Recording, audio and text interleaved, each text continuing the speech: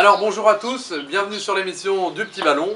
Nous voici au soleil chez Jean-Michel que nous venons de surprendre en flagrant délit de barbecue. Bonjour Jean-Michel. Bonjour, bonjour à tous.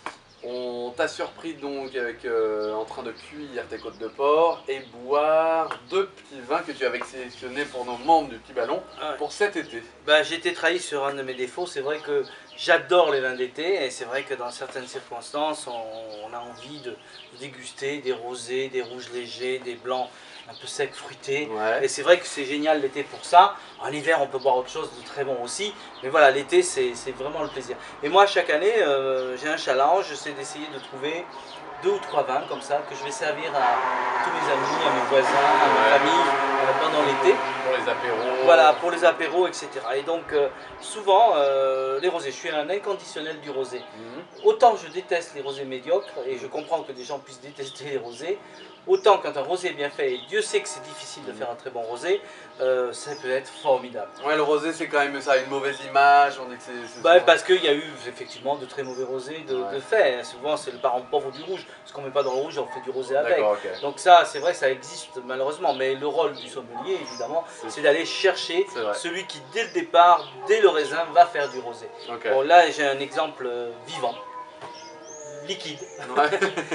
pour, euh, pour prouver ça. Et donc, euh, c'est un domaine que j'adore en rouge. ouais. Euh, c'est une appellation qui s'appelle aujourd'hui Grignan les Adémars. Alors, ça ne parle pas encore en- à la tête des gens, Ouais. dans la tête des gens, parce que c'était Tricastin. Et ils ont changé de nom pour des raisons tendancieuses aujourd'hui. Et bon, ils ont bien fait. Grignan les Adémars. Grignan, en plus, c'est un beau village. Euh, village culturel, la comtesse de Grignan étant la fille de Madame Sévigné, Madame Sévigné venait la ok. visiter souvent et donc les vins de, de cette région étaient bu à la cour de France grâce à Madame Sévigné. Voilà, donc qu'elle moi j'aime bien le côté historique. Le, le rosé de Grangeneuve. Alors je sais pas si euh, Monsieur Bourg n'était pas là à l'époque, mais certainement que les vins de la région étaient bu euh, à la table du roi. Par contre, effectivement, euh, les rouges sont absolument magnifiques, mais je pense que les rouges, on en reparlera. On aura l'occasion de regoûter, tu vas voir, c'est absolument formidable. Par contre, ce rosé, moi, je suis tombé euh, j'ai été amoureux tout de suite. Voilà, Euh, du fruit, de la fraîcheur, Mhm. du corps, euh, vraiment tout pour plaire, même euh, à la rigueur un peu dangereux. Alors, euh, le rosé de Grand Genève de Monsieur Bourg, Ouais. c'est un rosé qui est issu de, de trois cépages, qui sont des cépages qui individuellement peuvent faire des très grands rosés. Là, ils sont ensemble dans cette cuvée. C'est le grenache, c'est le cépage du fruit. Le cinsault, c'est le cépage de la finesse et de la fraîcheur. La syrah, c'est la fraîcheur également, et la couleur, et euh, une, une certaine fruité euh, un petit peu plus profonde.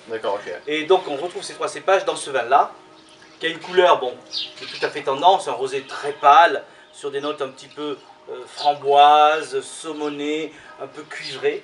Ça nous donne déjà ouais, une, une bonne indication là, la, couleur ça- du C'est rosé. c'est un vin de fraîcheur, hein, la- rien que la couleur déjà a beaucoup de fraîcheur, hein, brillance, vivacité, reflet argenté. Moi, déjà cette robe est, est superbe. Ouais. Alors au nez, ben, tu vas retrouver ces cépages. hein. Des fruits, le côté framboise, fraise des bois, groseille pour le côté un petit peu acidulé. On a des notes très fines, Ouais. voire même un petit peu minérales. Euh, ça veut dire quand même que même si c'est un rosé, on a un terroir quelque part. hein. Moi je trouve ça absolument superbe. Alors quand on agite un petit peu le verre, on a des notes un petit peu plus pamplemousse rose. Alors là encore, on accentue en plus la fraîcheur. Et un côté floral qui donne un côté délicat. Donc on a un rosé tout en dentelle au nez. hein. Mais tu vas voir que quand tu vas le déguster,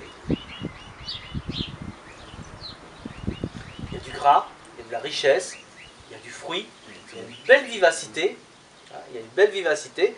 Petite longueur, mais c'est normal, c'est Ouais. un rosé, c'est pour être, c'est, c'est pour être bu euh, relativement jeune. Il n'y a aucun intérêt à laisser vieillir un, un rosé. D'accord. hein. On le boit dans les deux ans. hein. C'est jamais Et- des vins de garde un rosé.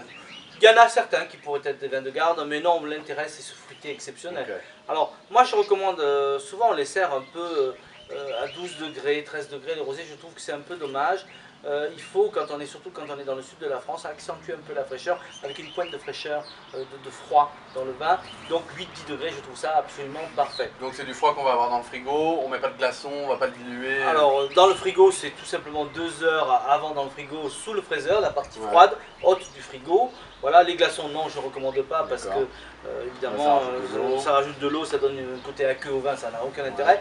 Moi, j'ai toujours une chose que je fais euh, lorsque j'ai des gros raisins euh, Italia, etc. Ouais. Ben, je, je les mets au congélateur. J'en fais des glaçons.